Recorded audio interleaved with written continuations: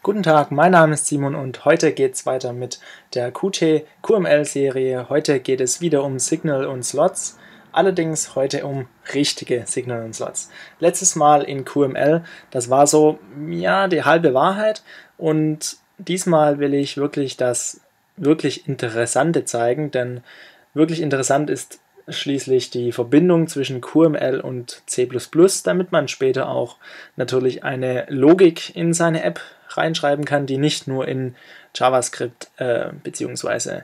QML geschrieben ist. So, los geht's, indem man auf Datei neu, wir erstellen ein neues Projekt, Qt Quick Application auswählen.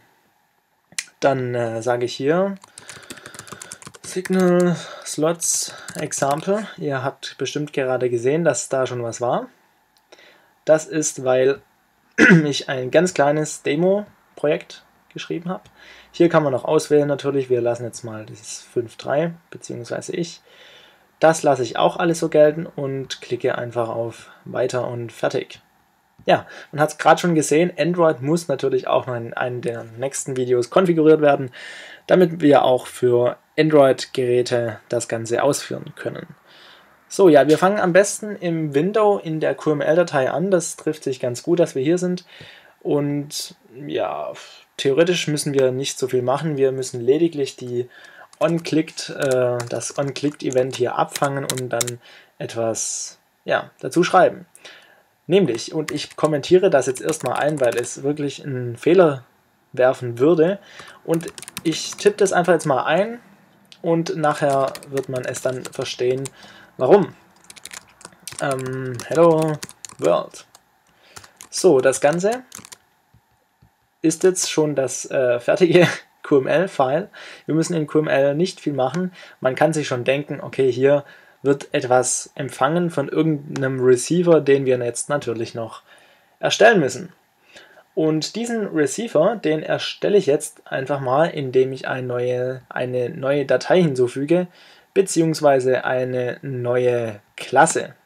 Und das geht ganz einfach, indem man hier Rechtsklick klickt und sagt hinzufügen C++ Class und als Klassenname sage ich hier Receiver und das Ganze soll ein QObject sein. Das heißt, hier wird QObject schon automatisch importiert. So, Receiver.h und Receiver.cpp, das kennt man. Wenn man C++ schon mal programmiert hat, das soll ja, die Serie soll vorzugsweise um Qt gehen und nicht um C++ an sich. So, es geht weiter und schließlich auf Fertig klicken. Somit haben wir schon die zwei Dateien, receiver.h und die entsprechende C++ äh, dazu. So, im receiver.h müssen wir jetzt ein bisschen was machen. Und zwar sagen wir hier explicit receiver QObject parent, das passt schon ganz, äh, das ist hier der Konstruktor natürlich.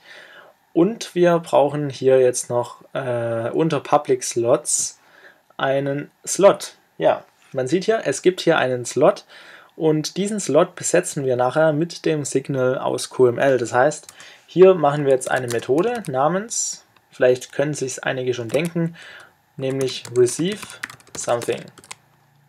So, diese receive something muss natürlich noch was empfangen, nämlich den String, deshalb hier qstring. Tja, das war's eigentlich schon in dieser Datei. Wir können noch hier äh, QDebug hinzufügen. QDebug ist einfach die Konsolenausgabe und wird nachher ganz nützlich sein in der receiver.cpp. Nämlich da gehen wir jetzt rein und da sehen wir folgendes. Der Receiver ist hier schon, äh, der Konstruktor ist hier schon deklariert, beziehungsweise im, äh, implementiert, so rum. Und wir brauchen jetzt theoretisch nur noch die Methode, die dann den Slot äh, darstellt. Deshalb hier void receiver ist eine void Methode, da wir ja nichts als Rückgabewert angegeben haben. Und mit der Autovervollständigung von Qt Creator wird das Ganze dann schon so aussehen. Das einzige, was wir jetzt doch hier machen müssen, ist qdebug und dann received Doppelpunkt äh, und dann hier das S, in unserem Falle den String hinzufügen.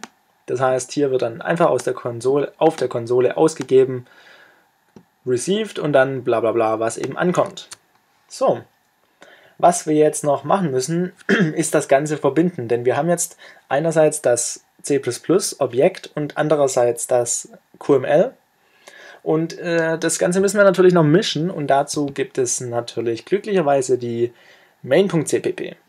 Was wir hier machen ist, äh, dieses GUI-Application machen wir jetzt mal weg und ersetzen das Ganze mit einer Q-Application.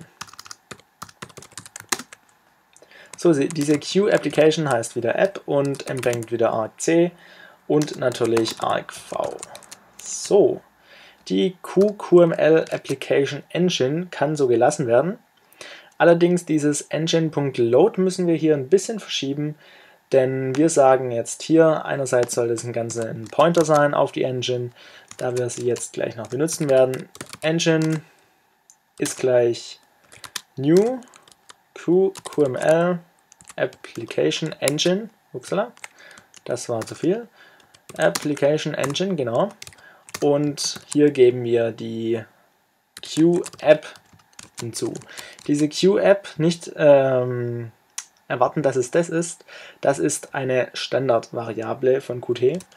Und diese Q-App bzw. diese Engine, die hat einen Kontext. Und diesen Kontext bestimmen wir jetzt mit Q, Q, QML. Entschuldigung für die möglicherweise, ich entschuldige mich schon mal vorab für die möglicherweise falsche Aussprache.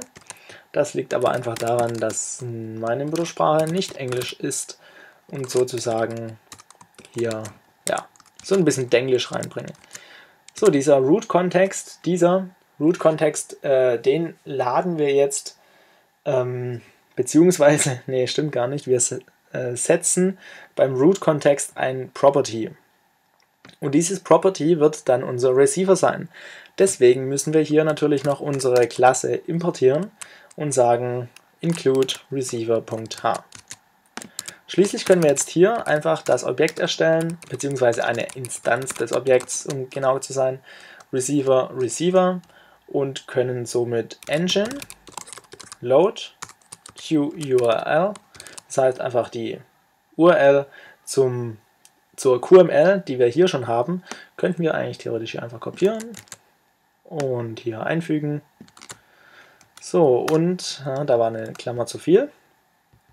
Das können wir lassen. Äh, was wir jetzt noch ma machen müssen, ist, was ich angesprochen habe, nämlich die Context Property zu setzen. Und das geht ganz einfach, indem wir sagen Engine Root Context wieder set Context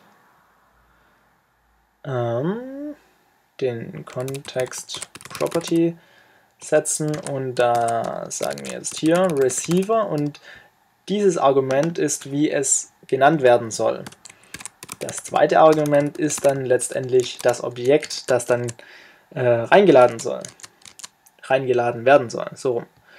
so, möglicherweise müssen wir noch den QQML-Kontext hier oben includen. Das heißt hier äh, QQML-Kontext. Und jetzt sollte das Ganze schon ausführbar sein. Ähm, wenn ich das Ganze mal ausführe, sollte unser main.qml schon ausgeführt werden? Nein. Incomplete Type Q Application. Ja, das liegt einfach daran, dass wir hier oben dieses GUI auch wegmachen müssen. Denn Q Application ist etwas anderes als Q GUI Application.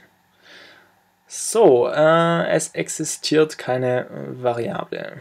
Das ist da schon mal sehr gut. Oh, Entschuldigung für den kurzen Cut, bevor ich da jetzt ewig lang suche im Video, dachte ich mir, zack, mache ich kurz einen Cut und natürlich habe ich noch etwas vergessen, wie dem auch sonst. Ähm, ja, wir müssen für Q-Application natürlich noch die Widgets hinzufügen und die Widgets fügt man einfach in der Pro-Datei hinzu, das heißt hier unter QML plus gleich QML, Quick und hier schließlich Widgets. Na, wenn man es richtig schreibt, wäre es natürlich auch noch von Vorteil.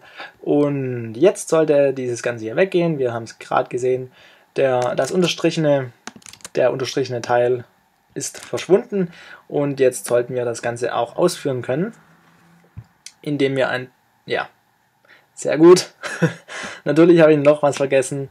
Äh, ja, es ist Freitagabend hier natürlich kein Dollarzeichen, wir sind hier nicht in PHP, natürlich ein kaufmännisches und. So. Und zweiter Versuch. Und es sieht schon besser aus. Wir können es ausführen, allerdings passiert natürlich noch nichts, da wir das Ganze in QML noch auskommentiert haben. Ihr erinnert euch an den Anfang des Videos, wir haben hier Receiver receives something eingegeben und zack, wenn wir das Kommentar wegmachen, sehen wir, okay, Receiver wird blau, beziehungsweise wer es noch nicht geschrieben hat, kann es natürlich jetzt schreiben, receive something, wird sogar vorgeschlagen mit dem String s und dann sage ich hier hello world 2, dass beide, ähm, beide, beide Methodenaufrufe sollten nun ausgeführt werden. Wenn ich das Ganze jetzt zum Laufen bringe, sage ich hier, zack, hello world und hello world 2. Das ist das Prinzip von Signal und Slots. Das heißt, man hat hier immer ein Signal und dann hier schließlich den Receiver, der dann hier diesen Slot hat. Wichtig war einfach, dass man das Ganze hier unter Public Slots reinschreibt, denn nur dann ist es auch von anderen Objekten verfügbar. So, das war's für heute. Ich hoffe, es hat euch gefallen. Und wenn ja, lasst mir einen Daumen nach oben da. Wenn nicht, dann einen Daumen nach unten. Natürlich könnt ihr auch kommentieren, wie ihr fröhlich seid. Wenn ihr noch euch was wünscht, könnt ihr gerne auf mich zukommen und mir einfach einen Kommentar da lassen mit einem Vorschlag, was denn als nächstes drankommen soll. Ich bemühe mich, dass ich mich da dran halte und sage schönes Wochenende und bis dann. Tschüss.